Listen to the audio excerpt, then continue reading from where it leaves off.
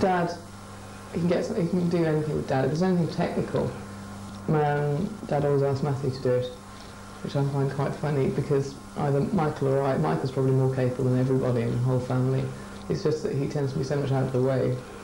He's actually forgotten because he's never there at meal times or whatever. So it's, uh, you know, it's quite funny. And I think Mum's noticed it with Dad, but she can't notice it in herself. And Dad is not one of these people you go and tell that sort of thing to anyway. He just switches into a headmaster mode, which is extremely infuriating. it's awful. it's a dictatorship. He won't, he won't listen to what you're saying. It's an incredibly illogical argument. And you just can't follow it at all.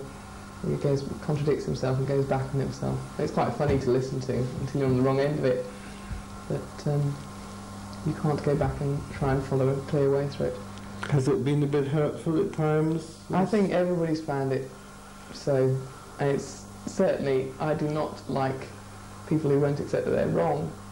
Um, and yeah, okay, same could be said of me sometimes, but certainly if, you, if someone can point out where I'm wrong, then fine, accept it.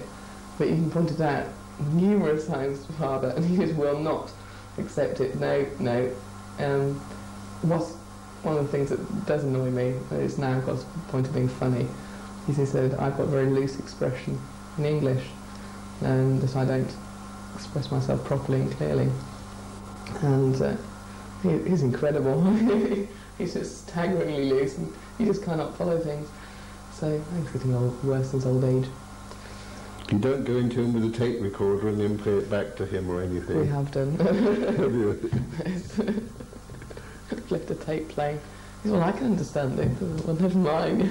the rest of society can't. So it's, uh, I think I think he's just very so very involved with his job and spends an awful lot of time. He really just forgets to hang on with your family, you know. So that's one of the pressures of it. What sort of things make you angry? People being abusive for no reason. Being sexist. Unpleasant. Unpleasantness where it's not needed. Um, in fact, I was thrown out of a shop on Friday in London. I went in and uh, I thought they were pretty horrible clothes anyway, but it was the only shop that was sort of roundabouts where I was actually waiting to meet someone.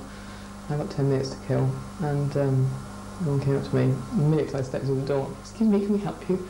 And I thought, well, I'm just browsing. You know, I'm just looking through. So I got to meet someone about five minutes' time.